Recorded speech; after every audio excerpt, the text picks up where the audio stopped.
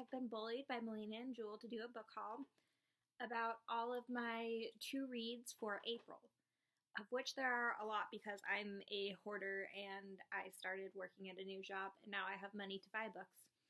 And I've bought way too many books.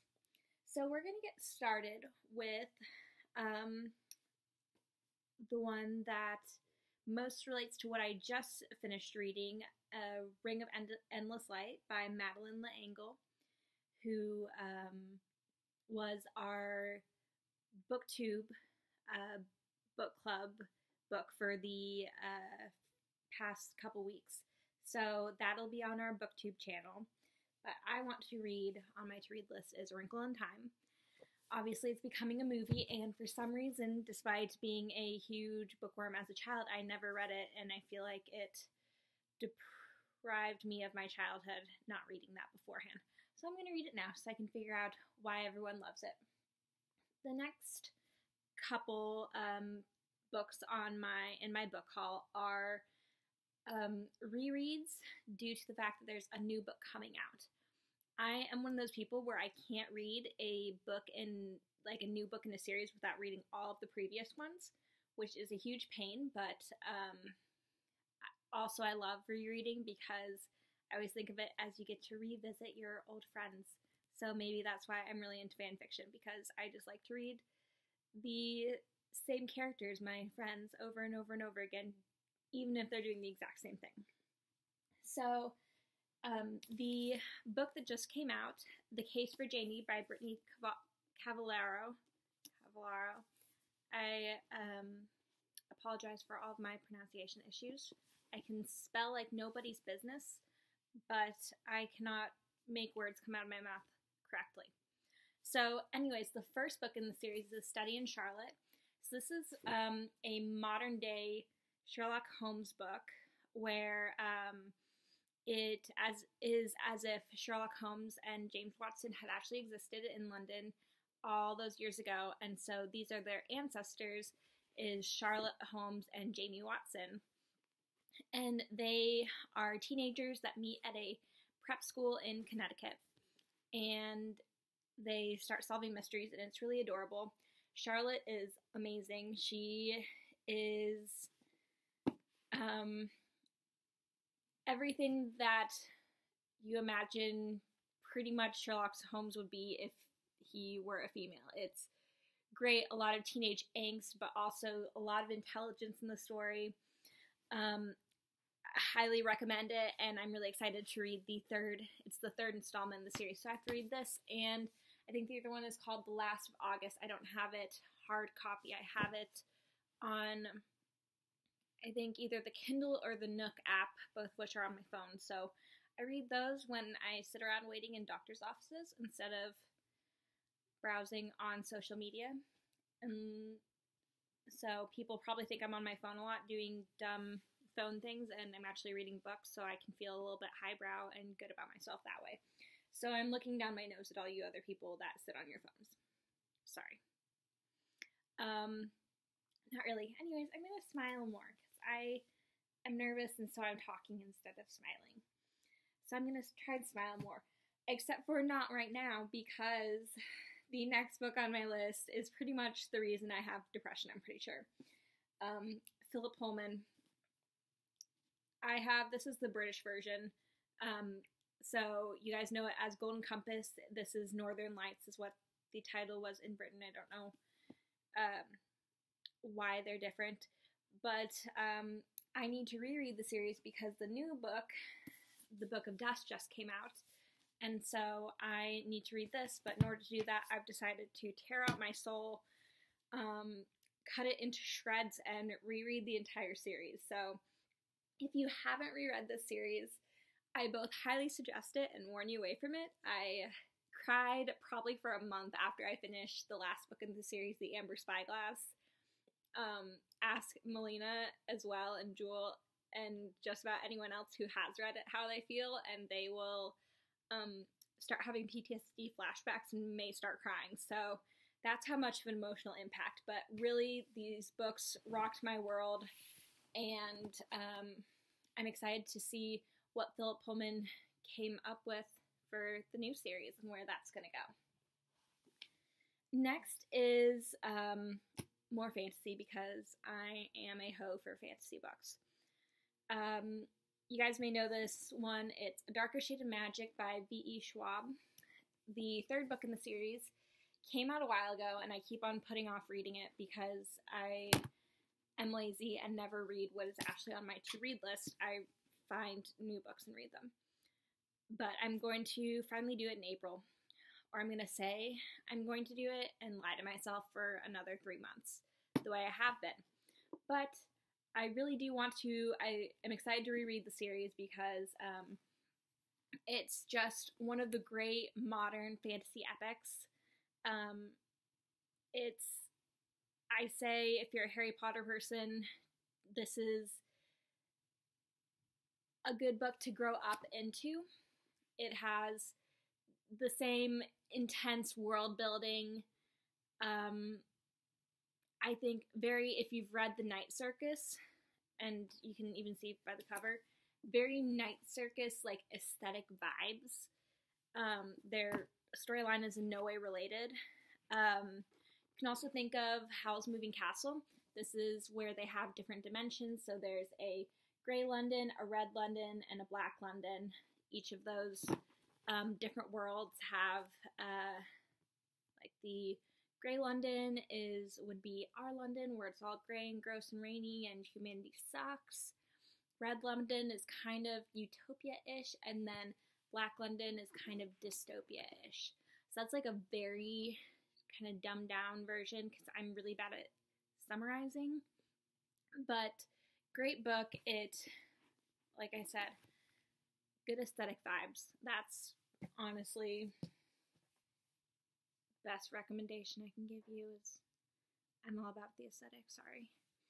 Um, next one is a book that I know almost nothing about, but I picked up the sequel when I was in half price books and it sounded really interesting, but I can't read books out of order, so I have to read the first one. And so it's called The Bear and the Nightingale by Katherine Arden. And so uh, this is a retelling of like a Russian fairy tale. And I love fairy tale retellings. Um, oh gosh, it's remi- the story reminds me of another book I have on my shelf somewhere, but I can't remember what it is. So I'll probably oh East, that's what it is a book called East, and I think it may be a possibly the same retelling, but it's Russian retelling of a fairy tale. Um, so it's going to be obviously really dark and depressing, but um, because Russia is dark and depressing. I read uh, I read a history of Russia, one of Edward Rutherfurd's of Russka, and that was the most bleak book I've ever read. Russian history is just grinds like Philip Pullman kind of like tears you up. Russian history just like grinds you down. It's like you don't get the glamour of glorious death. You're just like downtrodden until you're a pile of ash. It's pretty rough. So I'm expecting the same kind of angst, and I'm all about the angst when I'm in an angst mood um, which depends. I'm always an angst writer when I write, but not as much of an angst or medium angst reader. Next is another classic that I need to read because the TV series came out and I've heard it's really good and I really want to watch it, but I have to read the book first because I'm one of those people. Um, American Gods by Neil Gaiman. I think that's how you pronounce his name so bad at pronouncing names. It's really embarrassing, especially because I am in kind of a teacher. I'm a paraprofessional, so I work with kids with special needs. But um, doing any teacher related things, you have all kinds of wacky names, and it's just I butcher them so badly, and I feel really bad because they're beautiful names, and I try to be culturally sensitive in my pronunciation, but it's like I pronounced pint as pint for half of my life, and so it's not you, it's me. Um, so, anyways, American Gods. Um, my husband actually just finished this, and so he's been harping on me to read it. And it's another one. I got this actually with him in an airport bookstore. There's a really great one um, at Milwaukee Airport. It's a uh, used bookstore, and it's one of those where it's just like lined with books, shelf to shelf. And I fly in and out the airport so much because I travel ridiculous amount that um, the owner of the shop knows me, and so it's fun. He always helps me find new books.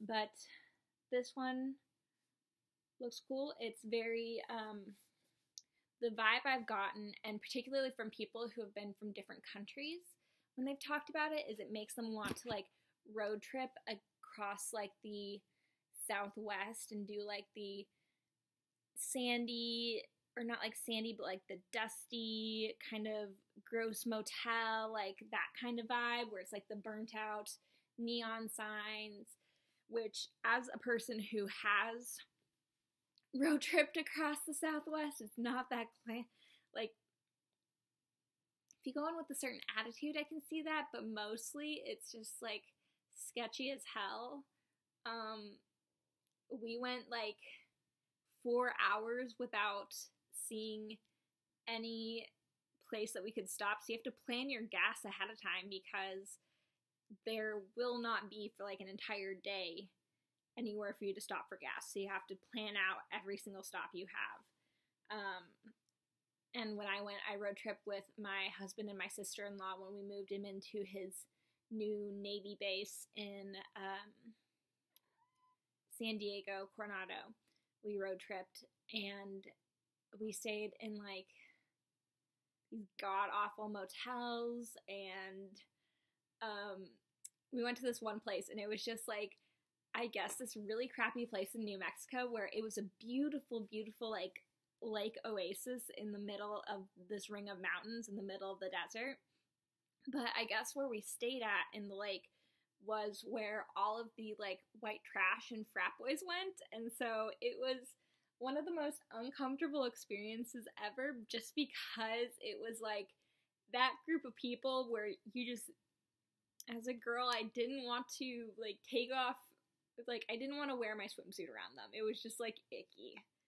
I so that was that was a bummer. But I that I did get proposed to on that trip in White Sands, New Mexico. So that's a good spot if you decide to road trip according to Neil Gaiman's American Gods book, where it's all like good aesthetic, then I suggest that. But like I said, I don't know if that relates at all to the actual summary of the story. That's just what I've heard. Um, another book. These ones are more ones that are super random that I've picked up at half price books because I spend a lot of time there, even though it's a 20 minute drive away from me. But um, I've been cycling through a lot of my books, as well as I got a gift card there one time from my husband's grandma. She sent me a gift card for my birthday, which was nice. I love books. And, or no, for my graduation. And what else? Oh, it's by it's really close to where um, Clothes Mentor and Plato's Closet is, and that's how I get half my income is by selling old clothes and then buying new inexpensive clothes. Um, so I go there a lot. So this book is An Unkindness of Magic, and so this is another book. Um, if you've read The Magicians by can't remember his name, but it became a TV show as well. Um, but the book, it's very once again kind of grown up Harry Potterish, where it's like modern wizardry. If you've read A Discovery of Witches, this kind of has the same vibe where it's um, wizards and witches in the modern era, except for this takes place in I think New York, and they're having like a competition, and all the people who are witches and wizards are like kind of blue bloods in the in the um, New England area, East Coast. So um, it's wizarding competitions, lots of witches, go witch power. Um, if you haven't seen, no, I. If you're 18 or older, watch the Broad City Witches episode and it'll make your life. But if you are younger than 18, please don't watch it. It's highly inappropriate. But that gave me all the witchy vibes for 2018. um, currently working with Jewel, or not Jewel, with Melina to compile um, as many names of modern witches as possible. So if you have any suggestions, um, you can send me a message on Tumblr or on here, leave a comment. We've got um, Florence from Florence and the Machine. Um, I'm blanking. We have Enya. Who else? Lorde is definitely a witch. Stevie Nicks has pretty much come out as a witch. Um, uh, yeah. So send more witches because I believe that there is a conspiracy and they're actually around. Um, so yeah, this looks like good witchy vibes. Um, like I said, I'm a hoe for fantasy. So, next book is Small Admissions by Amy Papel, I guess. Um, I got this one because it gave me, after I read The Hating Game, if you haven't read that, read it right now. It's a great, one of the only uh, contemporary romance books that hasn't made me want to puke and it actually had me like squealing. I've never been as happy as I was reading this book. I swear it was everything joyous in the world. And so after the hating game, I was like, I want to read all this contemporary romance because this was the best. But contemporary romance, it just like sucks ass. Like it is so bad. I I have read some and I had to I sent it to so many different friends because the writing of the smut was just like laughably bad, just terrible. But from what I can tell, this gives me similar vibes as to the hating game, where it's, um, but probably a lot less smut. It didn't really give me smutty feels, but um, that that's what it looks like is. Um, it's about a girl who becomes a, an admissions counselor at a private school and finds romance and also teacher things. I'm all about those teacher vibes. Not enough good books about being a teacher. Um, or I haven't been looking hard enough, probably. I'm sure there's a list on Goodreads for that, and I'll have to look it up eventually. Um, so that is my general book haul. I could probably do like another hour of this, but this is a condensed version of all the books I kind of want to read in April. I'll do a review at the end of April and see what I've actually read and give you guys, let you guys know how these actually went. If they sucked, how much I cried when I reread The Golden Compass. Um, if if American Gods actually took place in the Southwest, because I may actually be wrong about that.